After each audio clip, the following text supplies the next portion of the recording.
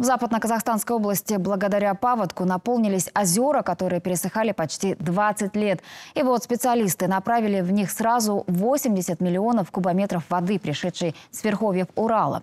Эксперты напомнили, что помимо разрушений большой паводок принес и пользу. В регионе, где последние годы были засушливыми, от маловодья страдают южные районы. Там всегда возникали трудности с водопоем скота, но особенно это сказывалось на сайгаках, которые вынуждены мигрировать в поисках воды. Теперь озера на их пути заполнились. Основная вода из Урала, отметили в Министерстве водных ресурсов, собирается в Кушумском канале.